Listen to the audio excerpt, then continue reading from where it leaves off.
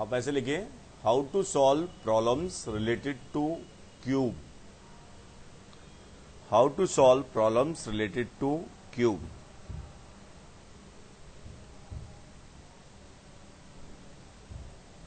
ठीक है ना? अब बहुत ध्यान से मुझे बताना क्यूब बनता कैसे है? स्क्वायर स्क्वायर के ऊपर स्क्वायर के ऊपर स्क्वायर के ऊपर स्क्वायर रखेंगे तो हमारे पास क्या बन जाएगा? क्यूब बन जाएगा? बात समझ में आ गई कि नहीं? तो आ, मेरे पास मान लो एक स्क्वायर क्या है? A one B one C one D one और सिमेट्रिक स्क्वायर है A two B two C two and D two समझ गए? तो अब मैं एक अलग तरीके से भी शो कर रहा हूँ इसे। ऐसे और जिससे मिला भी सके इन्हें, और ऐसे। ये स्क्वायर हैं लेकिन, ठीक है? तो अगर ध्यान से समझो कि हम 3D में तीनों कोऑर्डिनेट्स जैसे ये प्लेनर होगा A one B one C one D one बात समझ में आ रही है कि नहीं? तो एक को अगर मैं रेफरेंस पॉइंट मानता हूँ, ध्यान से सुनना, अगर साइड लेंथ ए है तो हाइट भी कितनी होगी? ए ही होगी। तो यहाँ से, यहाँ तक जो भी डिस्टेंस है वो ए होगी। समझ गए ना? और हर साइड लेंथ की क्या है? ए है। हर एंगल कितना है? 90 है। ऊपर जाने का भी एंगल कितना है? 90 है। बात समझ में आ रही है ना? तो कभी भी क्यूब की प्रॉब्लम्स हैं तो वर्टेक्सेस को अज्यूम कर लीजिए। एक को रेफरेंस पॉइंट मान सकते हैं। लेट ए वन मैंने क्या माना? ज़ीरो ज़ीरो ज़ीरो समझ गए? तो ए वन मेरे पास अगर ज़ीरो ज़ीरो ज़ीरो है, बहुत ध्यान से बताना तो सी वन के कोऑर्डिनेट क्या बनेंगे? इसका बॉडी डायगोनल होगा। बॉडी डायगोनल कहाँ पर जाएगा? कि यहाँ से बी वन पे आए, यहाँ से सी वन पे आए और ऊपर जाए। बात समझ में आ रही है?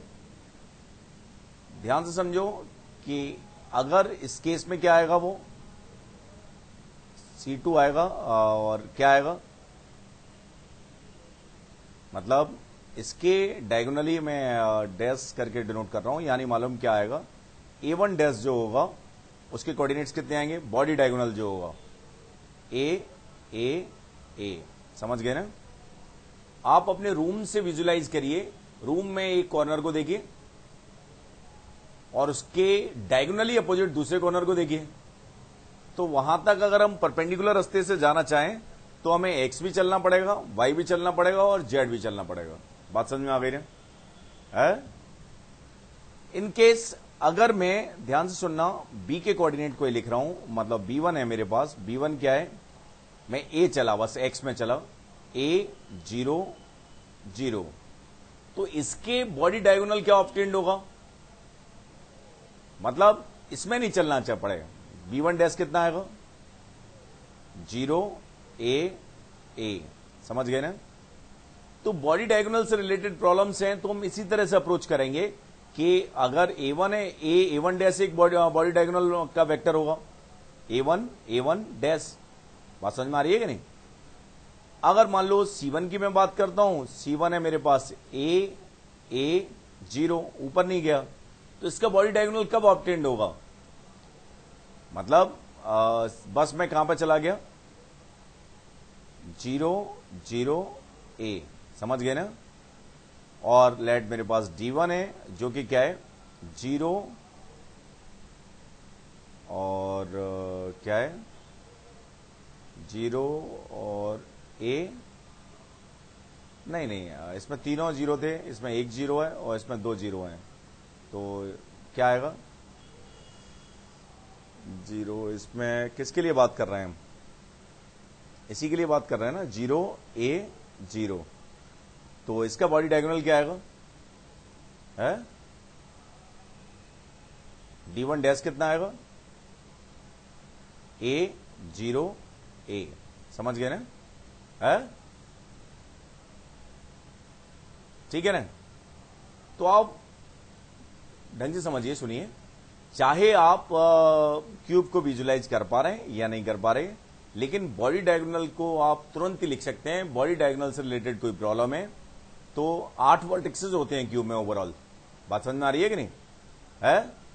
तो आठ वर्टिक्सेस में से कोई भी चार लेंगे हम। कोई भी चार, फेस डायगोनल तो फेस वर्टिक्सेस तो अलग से हम बात करेंगे। लेकिन बॉडी डायगोनल की बात करें तो ए वन जो ज़ीरो ज़ीरो ज़ीरो है इसका बॉडी डायगोनल कितना आएगा? ए एक जगह ए रख दिया, दो जगह ज़ीरो रखा तो दो जगह ए एक जगह ज़ीरो वो उसका बॉडी डायगोनल अपोजिट होगा। दो जगह ए रख दिए, एक जगह ज़ीरो रखा तो हमारे पास क्या आएगा? दो जगह ज़ीरो और एक जगह ए और अगर हमारे पास दो जगह ज़ीरो और एक जगह बीच में ए रखा तो अपोजिट हो जाएगा। तो कभी भी बॉडी डायगोनल से रिलेटेड वेक्टर हम आसानी से निकाल सकते हैं। किन्हीं भी दो बॉडी डायगोनल के बीच का एंगल निकाल सकते हैं। There is no problem A one A one dash vector आ जाएगा। है?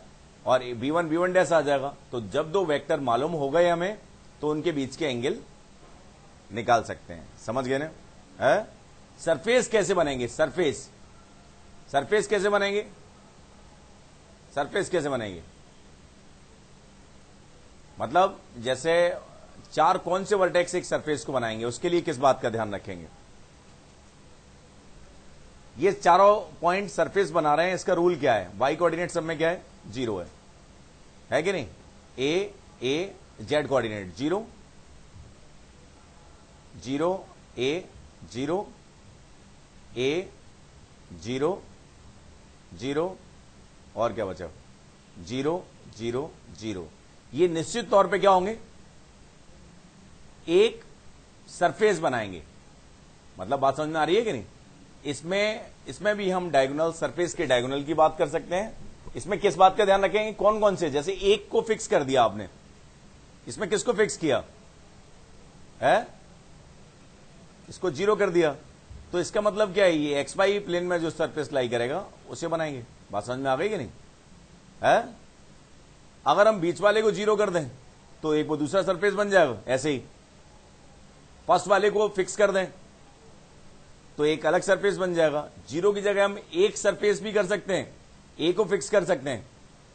तो उसके अकॉर्डिंगली डिफरेंट सरफेसेस हमारे पास बन जाएँगे। बात समझ में आ गई नहीं? कोई भी प्रॉब्लम हो बॉडी डायगोनल की है या सरफेस डायगोनल्स की है या लाइन की और डायगोनल्स की है तो उसे हम इसी अप्रोच से जाएँगे। समझ गए ना? है? और ज़्यादा बेटर ये रहेगा, आप ऐसे ही लिखना चाहते हैं कि ए जैसे ए लिखा आपने, बहुत ध्यान से लिखना। ए वन लिखा, ये क्या लिखा? ज़ीरो ज़ीरो ज़ीरो तो इसके ऊपर लिख दो क्या? ए वन डैश इस तरफ़। ये क्या है इसका? है? ए ए ए ये क्या बना इसका? बॉडी डायगोनल है? बी वन लिखा आपने बी वन क्या लिखा? ए ज़ीरो ज़ीरो तो इसका बॉडी डायगोनल कितना बनेगा? बी वन डैश कितना आएगा?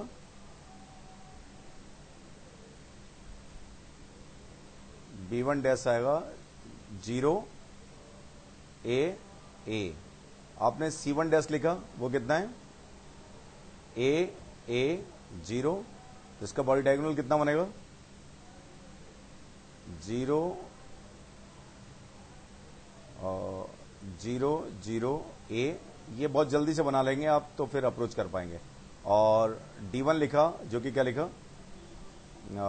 ज़ीरो ए ज़ीरो तो इसका सरफेस कितना बनेगा?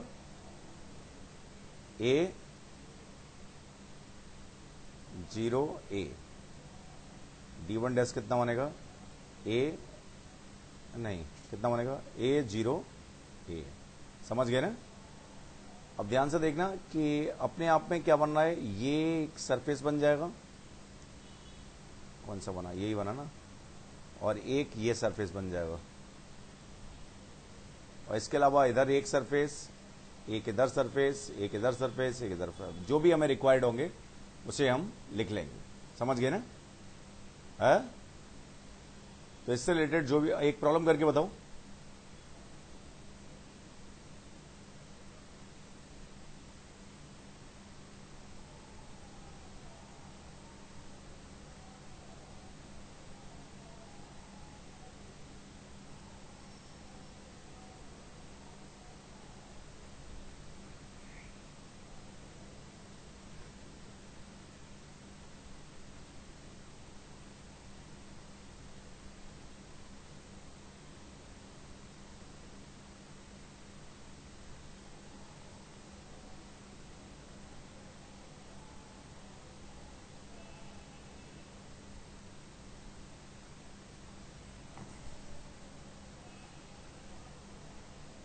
ध्यान से देखना। ये जो सरफेस आपने लिखा है A one B one C one D one इसमें Y zero Z coordinate fix है। और सबसे ऊपर वाला जो सरफेस लिखा है, उसमें क्या फिक्स है? जेड कोऑर्डिनेट ही फिक्स है, लेकिन उसमें जेड कोऑर्डिनेट ए फिक्स है और इसमें जेड कोऑर्डिनेट ज़ीरो फिक्स है। ठीक है ना? तो ओवरऑल कितने सरफेस पॉसिबल होते हैं? है? एक, दो, तीन, चार, पाँच, छह। तो पॉसिबिलिटीज हमारे पास क्या है? कैसे आ सकते हैं छह सरफेस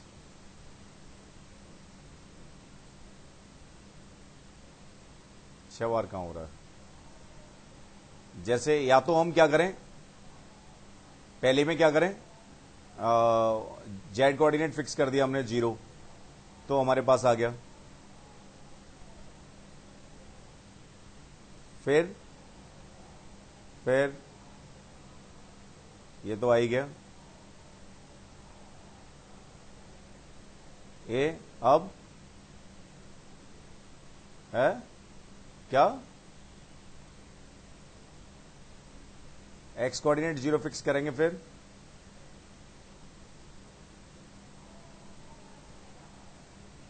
तो तीन प्लेसेस हैं, हर प्लेस के लिए दो फिक्स हो सकते हैं। तो ओवरऑल कितने आ जाएँगे सरफेस सिक्स ठीक है कि नहीं? समझ गए? तो इस टाइप की कोई प्रॉब्लम हो, बहुत तसल्ली से करनी है और करेक्ट करनी है। समझ गए? लिख लो एरर। प्रॉब्लम लिखो। If theta is the angle between two body diagonals of cube if theta is the angle between two body diagonals of cube then find mod of tan theta then find mod of tan theta.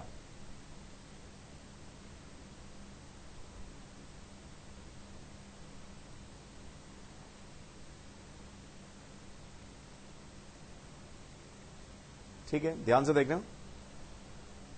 Body diagonal अगर हमें मानना है तो क्या मान सकते हैं?